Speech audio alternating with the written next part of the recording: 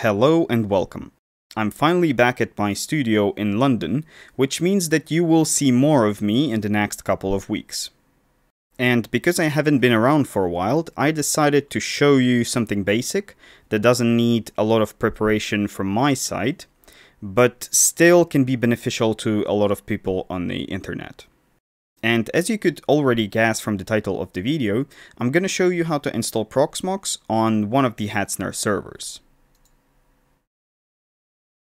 And for those of you who don't know what Hetzner is, and I sure hope I pronounce it right, um, if not, don't give me much hate in the comments. So Hetzner is a hosting company based in Germany, but they have data centers all around Europe. I think at the moment they cover uh, Germany, Finland, and Denmark.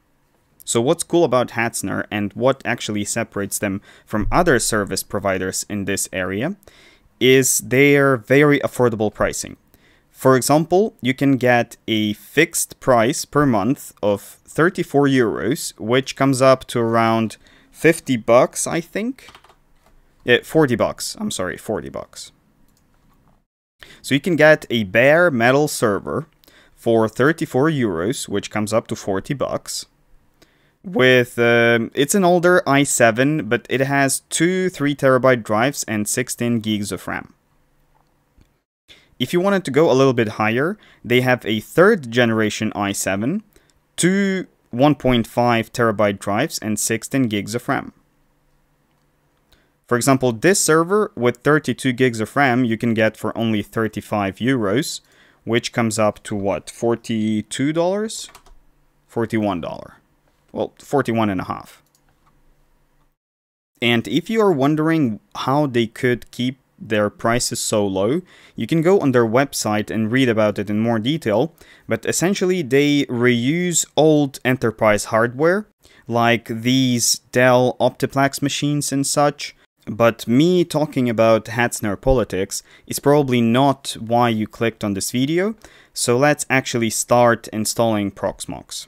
And if I switch to the other tab with Proxmox already running, which I'm going to be reinstalling actually to show you the whole process, um, let me show you that ping to Google works and DNS works as well.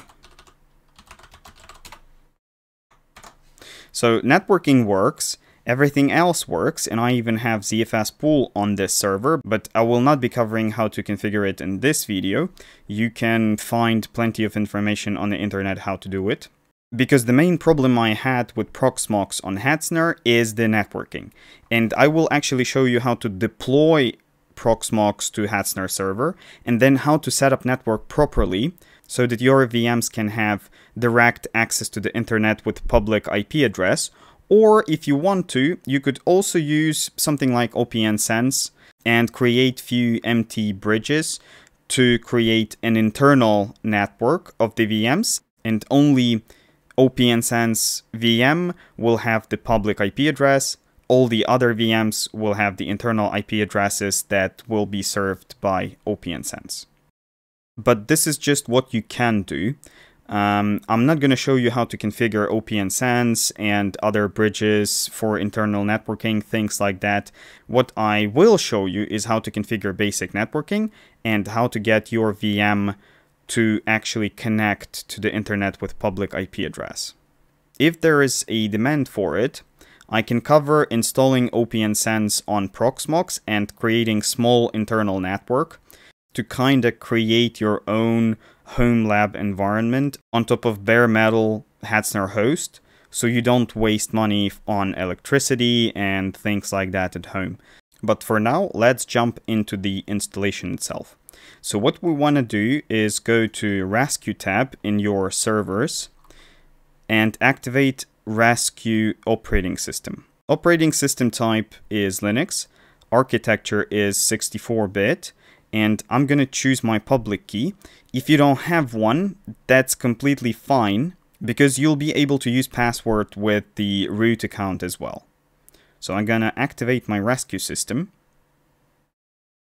and I will reboot my server.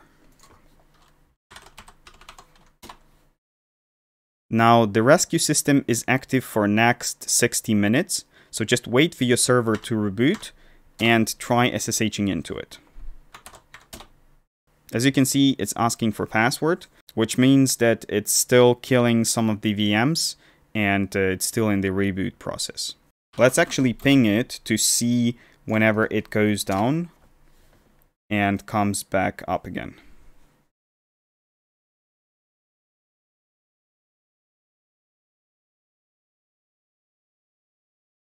Alright, the rescue environment is finally up and it warns me about remote host identification.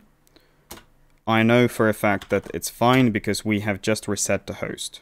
As you can see, it's a pretty basic machine with i7 third generation, 16 gigs of RAM, and two hard drives, 3 terabytes each. Now what we need to do is just read this welcome message and in this sentence, we have run install image command. We just need to start it. So what we need is other section and then Proxmox Buster. This image is not supported by Hetzner. Um, it's completely fine. Um, that's okay. And on the next screen, you're going to be presented with configuration file that you need to change in order for your hardware to work. For example, on this machine, I need software RAID 1, which means that uh, I need to specify 1 here and software RAID level as 1 over here. Let's change the host name in this section.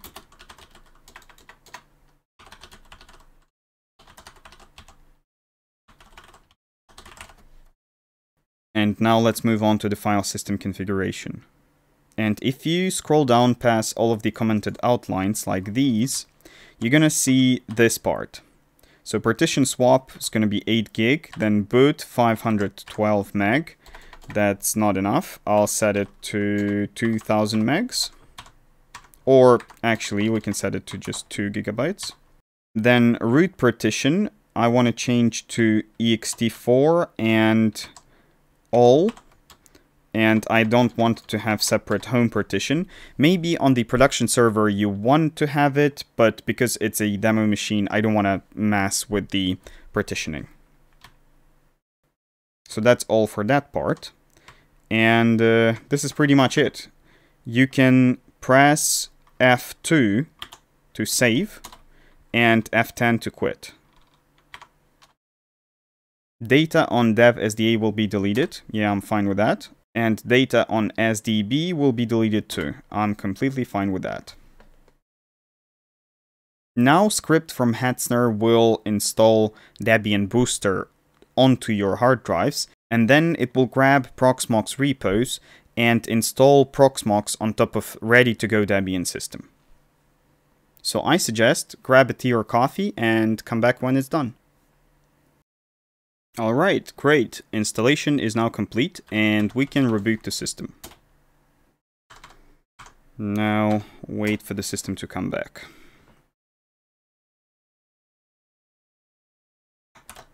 Yay, server is back. Key verification has failed again, but we can fix that. Okay, yes. And I'm in without typing in the password because server used my public key. Now what we want to do is make sure that our system is up to date. Keep in mind that it's running on two hard drives, so it might be not as fast as your home PC, but our packages are up to date. Now what we need to do is, sorry, install htop and if up down 2 yes.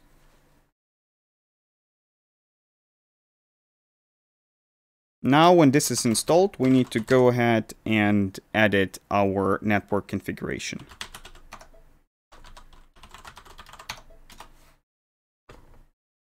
Now when I'm in here, I'm gonna go ahead and remove IPv6 stuff because I don't need it myself. If you do, read some documentation on the Hetzner website how to deal with that. But basically what we want to do here is to insert few lines into our configuration. Then I'll also remove this line and I'll add few enters over here. So what you need to specify for your interface is interface, then interface name, inet static. As you could see, I just added few enters in here to make my life a bit easier and type less. Now we just need to create a bridge interface, vmbr0, inet static. Okay, address we have. Then we need the gateway. And we can remove the netmask and specify slash 27 or we can leave the netmask in. Either way, it's going to work fine.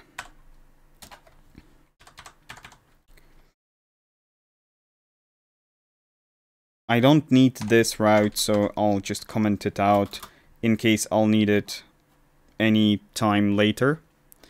Um, now we just need few extra arguments in here. Bridge ports and specify your port, which is in here.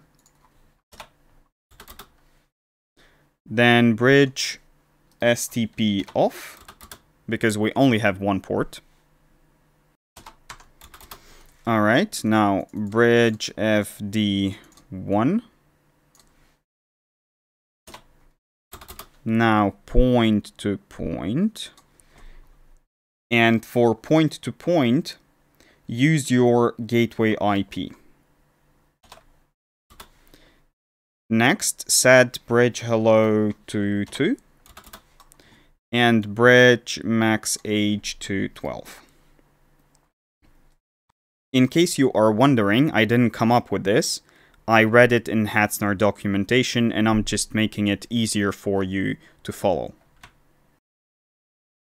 Alright, now I'll copy paste some other configuration, which will create the internal bridge for VMs to use. In my case, it's going to be called VMBR 100. Interface VMBR 100, bridge ports none, because we don't need to tie it to any port. It will be internal network. I don't want to play and adjust spacing in here and here because it's a demo system, but obviously you want to do that on production system so it all looks nice and tidy. Alright, I'll save this, exit, and I'll reboot my system. By the way, if you are wondering if you need to type that in by hand, you don't actually have to. I'll leave uh, some instructions down below in the video description. Either I'll connect it to my blog or I'll leave some instructions on the paste to bin. Let's ping the server to actually verify that our network configuration was accepted successfully. I started to worry a little bit there, but uh, our server came back just fine. Let's SSH back in. And the server is up. Let's ping Cloudflare servers. Um, the ping is up by IP, but what if I use google.com? DNS is up to. Okay, that's all good stuff. Now when this is all ready, let's log into the Proxmox web interface.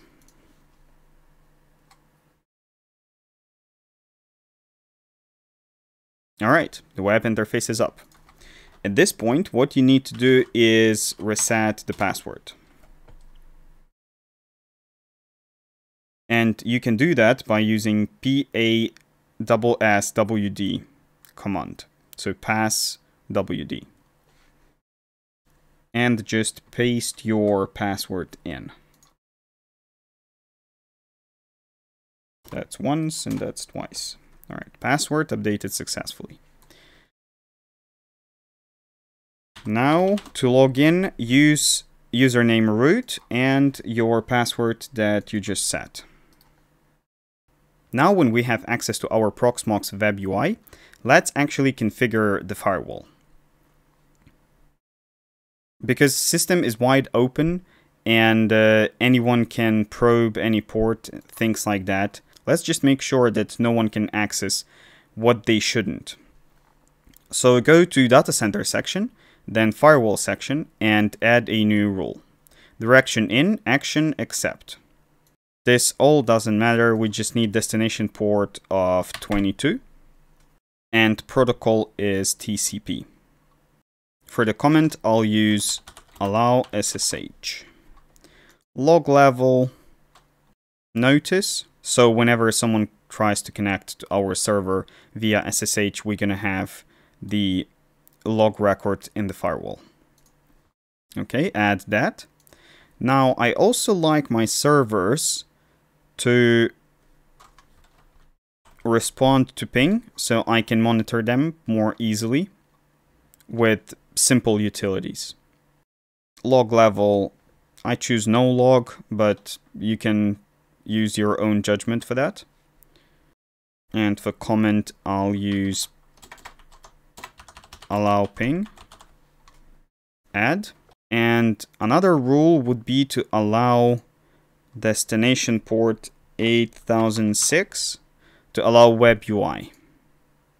And for the protocol, I'll choose TCP, comment, allow, web UI.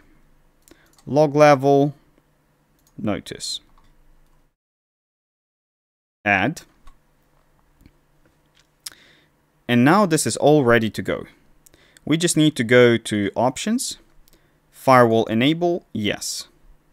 Input policy drop, output policy accept. Just don't forget that you need to add your accept rules first so you don't get disconnected from Proxmox server. Otherwise, it will be easier to reinstall it than to troubleshoot the issue and um, actually fix this. So uh, be very careful with um, what you do first. Add the rules and then activate the firewall. Now when this is done, last thing to do would be to go back to Hetzner and go to IPs tab. So I already have an additional IP for one of my VMs to get public IP. So what you'll need to do here is go to order additional IPs, um, choose one additional IP, describe why you need it, for example, for internal VM use, and agree to the terms and conditions. It might take up to 20 minutes for them to come back to you and actually provide you with IP address and uh, they will notify you via email when it was done, but you need that separate IP address for your VM to use. And next to your new VM IP address, you're gonna have this icon which will say request a separate MAC or something between that lines. But in my case, it's reset because I already requested the MAC. Then when all of the preparation done for the IP address, you're gonna see your separate MAC. You have to copy it, go to Proxmox, and create a new VM. Name, let's call it test VM. OS, uh, it's actually it actually doesn't matter. Don't use any media because we're not gonna install it. I'm just gonna show you how to configure it so it works fine. System is irrelevant, hard disk irrelevant, CPU irrelevant. You can use your own judgment to configure all of that. The only section I want to show you is um, the networking. All right, the bridge isn't showing up for some reason.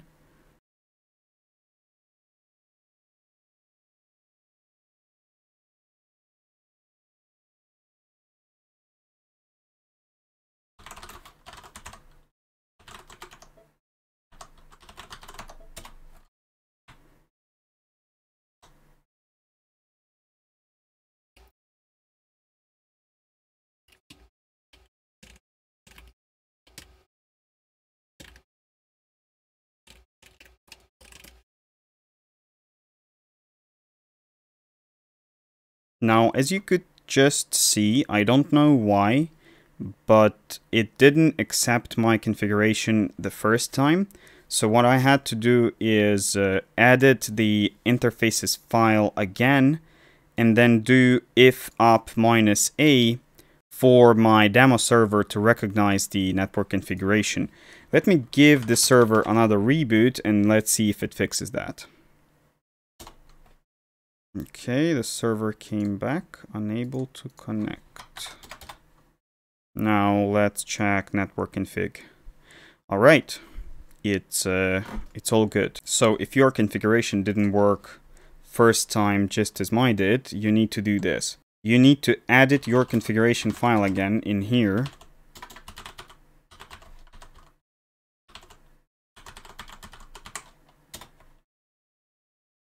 And when you are done, do if up minus A. It will apply the network configuration. Then do reboot and your server will reboot and come back with proper network configuration. This process seemed to have fixed my issue, and hopefully if that happens to you too, you know what to do.